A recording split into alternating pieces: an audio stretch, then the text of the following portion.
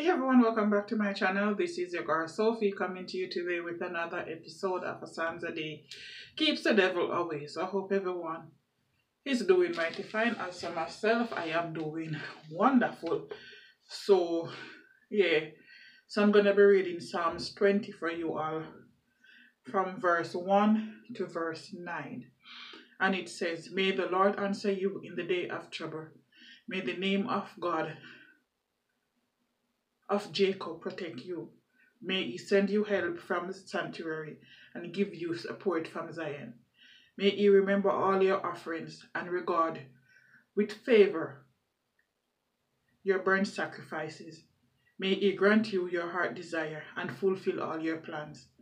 May we shout for joy over your salvation and in the name of our God set up our banner. May the Lord fulfill all your petitions. Now I know that the Lord saves his anointed. He will answer him from his holy heaven with the saving might of his right hand. Some trust in chariot and some in horses, but we trust in the name of the Lord our God. They collapse and fall, but we rise and stand upright. Nine and last, O Lord, save the King. May he answer us when we call.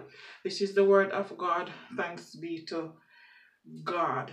Yes, I hope everyone um is doing good. I hope everyone will have um a blessed weekend. I hope everyone will have a place to sleep, um food to eat and is in good health. And so until tomorrow, remember that with God all things are possible and God is always in control. So I'll talk to you guys tomorrow. Bye. Take care. Love you all.